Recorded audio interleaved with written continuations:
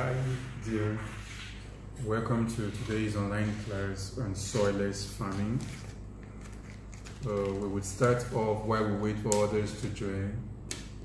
I am Young. I can't see the name well. Good morning. Thanks for joining us. So we'll be starting off right away so that we do not have to waste time. We will be starting off 7 o'clock. It's already 7 a.m. by my time. So we'll be starting off right away. So the first thing is, I hope we can see the board, soilless farming. Soilless farming. So definitely I will not have to explain what farming is. I'm sure we all know the meaning of farming. The key word here is the word soilless. Planting without the use of soil.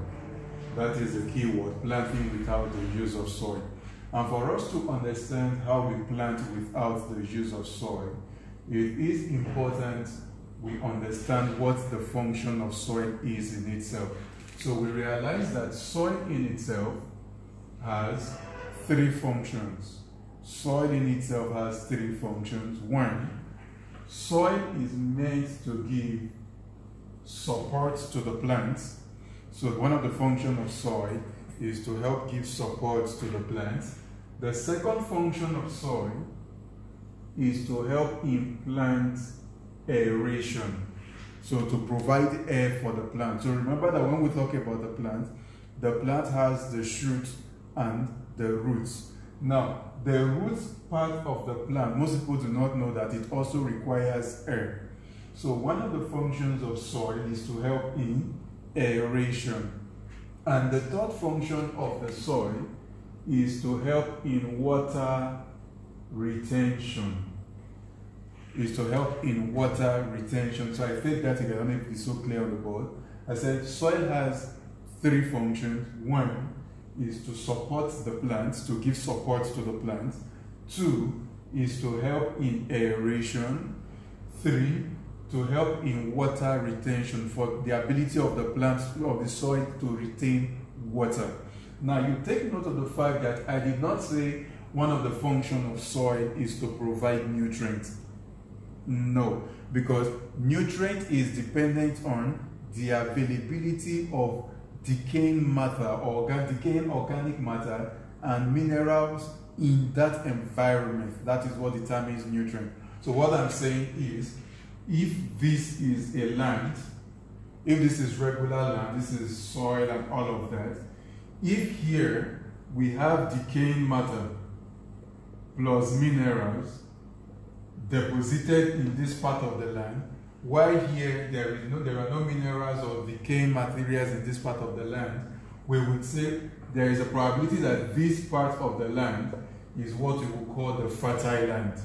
So it is not that it is the soil in itself that determines the minerals that are deposited here, neither it is the soil in itself that determines the decaying materials that are there. However, even if we have decayed materials here and minerals here, and those decayed materials and minerals are not soluble in water, the plant cannot use it. It will become inaccessible to the plant. So it is important that whatever nutrients you have in the soil must be soluble in water so that the plant can access it. Two, you realize it is also important that the soil is able to hold the water because if the soil cannot hold water, if it cannot retain water, then the plant also would not survive. However, you realize from our basic understanding, we know we have three basic types of soil. We have sandy, we have clay, and we have loamy. Now you realize that your sandy soil cannot support plants. If we look at the characteristics of soil, sandy soil will allow for aeration, but sandy soil cannot allow for water retention, which is why we don't really use sandy soil for growing. We do not really use sandy soil for so much growing. When you come to clay soil, clay soil can support the plant properly, but clay soil is not going to allow for aeration, though clay soil will allow for water retention, which explains why clay soil is not perfect for growing. I hope we are together. Then, on the final note, we have loamy soil. Loamy soil can support the plants. Loamy soil will allow for aeration, for air to enter uh, the roots of the plant. And loamy soil can retain water moderately. Now, once, because of that, this is why we use loamy soil for growing. I hope this makes sense. Now, once we understand this, soilless farming in the simplest form is we are looking for a substitute for loamy soil. What is that thing that can perform the function of loamy soil, but yet it is not soil? That is the foundation of soilless farming. Anything that can perform the function of loamy soil, yet it is not soil. So that is one thing we should put in mind, the foundation. Now, just like loamy soil, there are some parameters we also look at, which means what I'm saying is it is not just something that can perform support, aeration, and retain water. There are other things that we are concerned about, such as what is the pH of the material you are going to be using? Meaning, how acidic or how alkaline is that material you want to use as a substitute? Good morning, everyone. Thank you so much for joining me this um, early morning. I appreciate and value your time. So, what is the pH of the material you want to use? It is very important. So, we'll take examples of um, materials that can replace loamy soil. Remember, we said that when it comes to soilless farming, good morning, go green, good morning, sir. Remember, I said that when it comes to soilless farming, now we started by explaining what soilless farming means. And I said, in soilless farming, since we understand the function of soil, what we want to figure out is what can perform this function of soil. Simple. So we have examples. I will take examples from things that we have around us that are readily relatable. So we have an example. We have sawdust as an example. You know sawdust, that thing that they bring out from wood in um, all these their um, carpenter milling shop. Oh, that, that's not the right name. I can't remember what they call them now. But the sawdust. So we can use sawdust as a way to perform soilless farming. As there is a farm uh, in Uganda where we use the sawdust to grow pineapple. So you can use sawdust. Sawdust can support the plants. Sawdust can help in aeration. Sawdust can help in water retention. Then somebody would ask, is sawdust very okay? I mean, is it any wood you can use it from? So is it any kind of wood you can use, you can collect sawdust from? Yes, but, but, you see, you need to be careful to ensure that the sawdust that you are collecting to use does not have any infection. When I say infection, you know that there are some wood when you get to carpenter's shop, is as if uh, fungi or some bacteria or some pathogens are eating up the, the wood itself. So if you notice that it is that kind of wood, then you don't want to use it. Why? If you use a sawdust that is already contaminated, you have automatically introduced your plant to a contaminated environment. And that will increase the probability of the plants getting infected.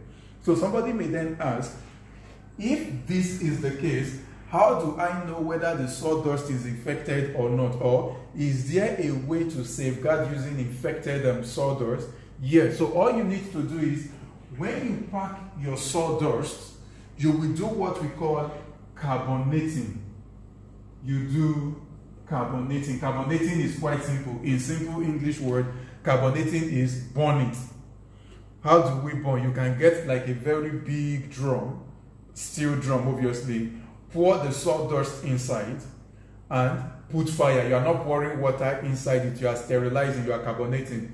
You keep burning until you notice that it has become totally black or dark. Once it is dark, it is now carbonated sawdust. In that way, whatever pathogens was in the parent wood will not be transferred to your plant because heat by default we know from um, elementary science that you can use heat to do sterilization. So this is an example of what we can use. Another example of what we can use for soilless farming is rice hulls. Now, the rice that we eat at home does not come like that from the plant.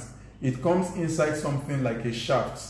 So, if you get that shaft, you can use the shaft from rice to also grow soilless. Again, if you get rice hull, you are going to notice something peculiar about rice hull. The water retention ability of rice hull is quite low. So what we also do again is carbonate the rice hull, it will increase its water retention ability. It will retain, it will increase. Why paused? I'm sorry, I don't know. Is it paused? Somebody is complaining that it is paused. Please confirm if it is paused on everybody's end. Somebody is complaining that the video is paused. So, rice hull. So, like I said earlier, I said with rice hull, you are um, you also carbonate. This is another thing that you can use, and you would also get the same results. Another thing again that you can use is charcoal. You see, these are things we have around us. If you go to Abakaliki area, Abakaliki, you have so much um, rice hull in Abakaliki, they even throw them away until we got there and realized they saw us packing and they understood what we are using them for. So there's a little fee they put on it, but still not so much. Then charcoal. You can also use charcoal for uh, growing without soil. However, the issue, the little issue with charcoal is charcoal is a compound that likes to compete with the plant for the nutrient you are putting into I hope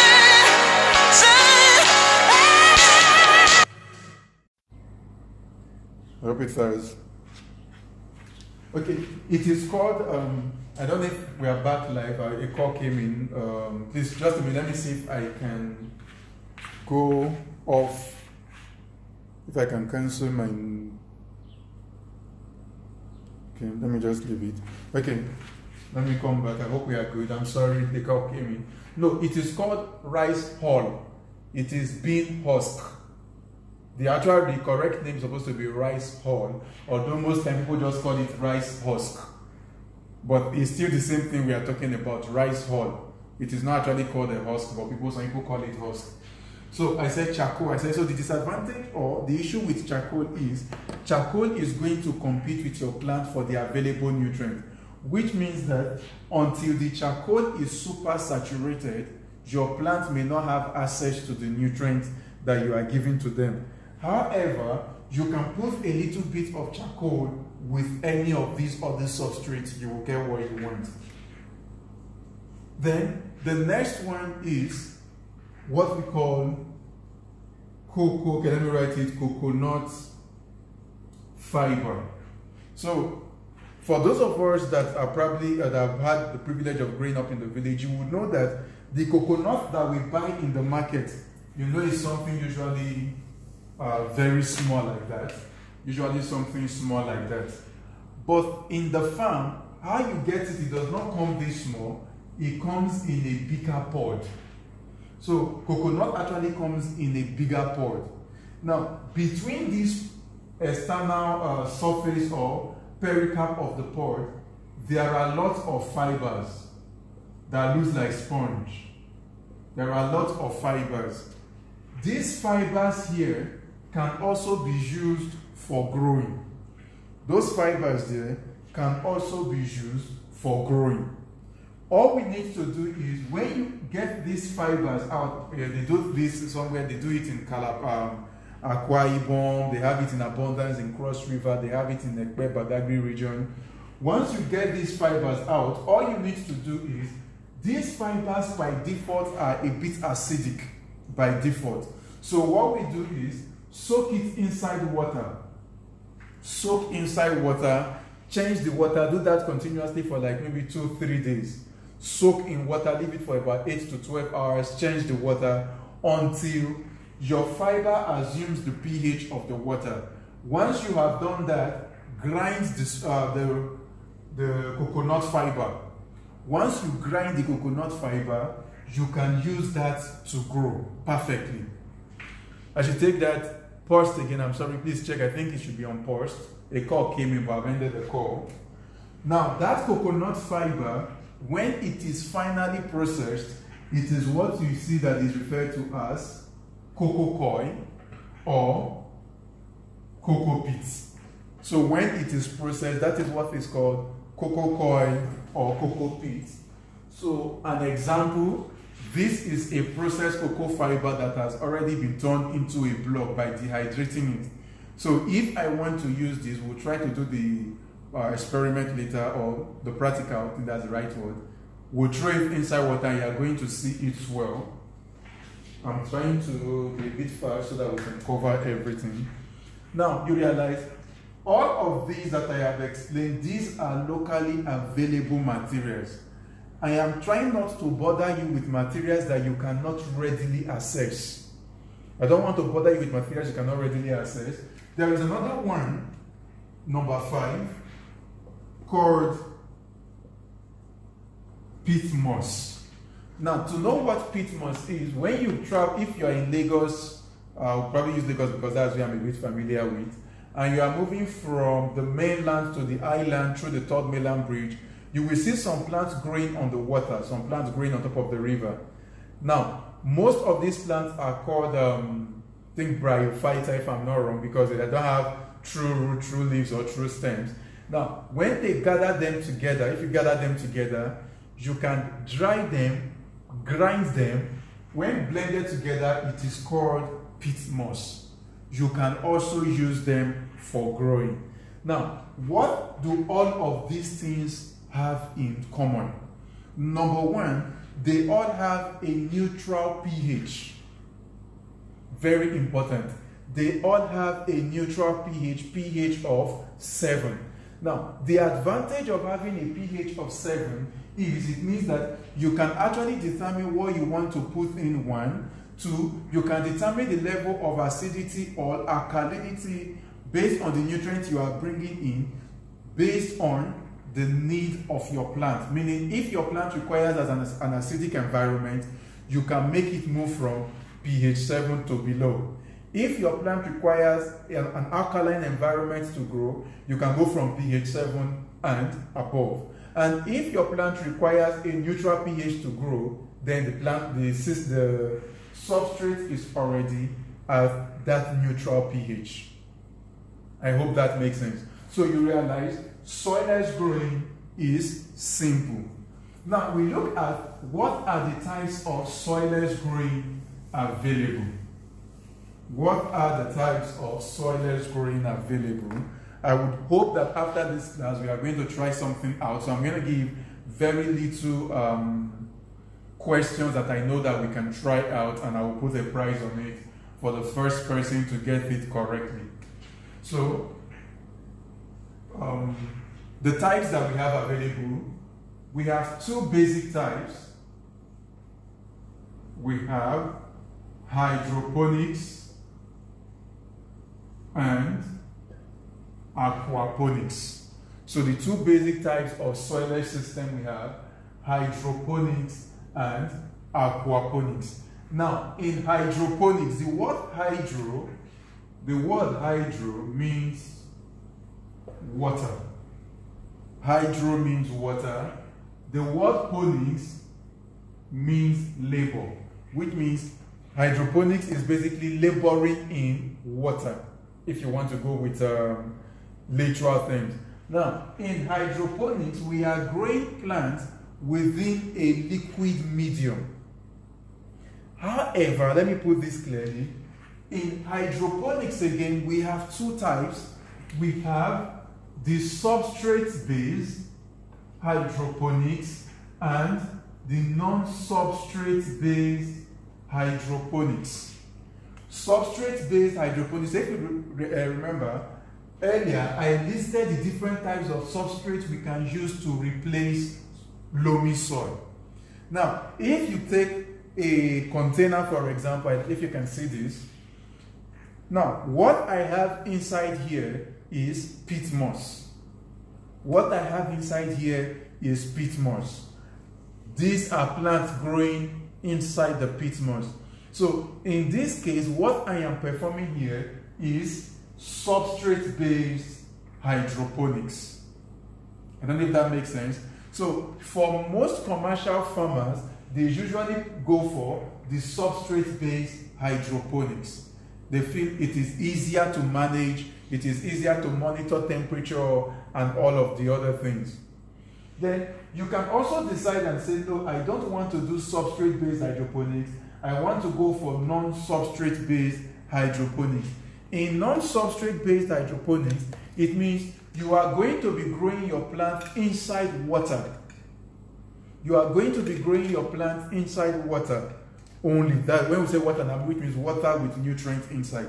It is either that um, uh, what is it called now? It is either you have it in the form where, if this is my water, it is either you have the plant inside the water permanently, meaning the water is not moving, you have the plant inside water. We call that deep water culture. Or you could have a system where the water keeps running and coming back from the reservoir. The water keeps going and coming back from the reservoir. We call that the nutrient film technique. Or you could have a method where you have the roots of the plant suspended in air and the water sprays to the roots in form of a mist intermittently. We call that aeroponics. Then you could also have it in the form where you have the plant in water. However, the plants are moving because what you use as support system keeps moving up and down. We call that the floating or raft system. Again, I'm trying not to go too uh, detailed. I just want to give you something you can start at home. So the first assignment you are going to try to do is one, try and find any of the substrates try to find any of the substrate, which is either you are getting sawdust, cocoa coir, that's um, coconut fiber, or peat moss, or rice hull, any of the substrate that you can lay your hands on first. That is number one. Try and find any or get any of the substrate. You can put any, use any container to grow. If what you want to use is a regular small plastic container, put holes at the bottom so that the excess water has a place to run out. Okay, so that is on hydroponics. In aquaponics, what we have is you connect the system. So instead of just having your nutrients inside here, here you are going to have fish instead. So instead of, excuse me, we are going to have fishes instead, such that the waste product of the fish becomes the nutrient for the plants. Take that again. In aquaponics, you are doing adding aquaculture plus hydroponics together in one system. So that the waste product of the fish, we know that.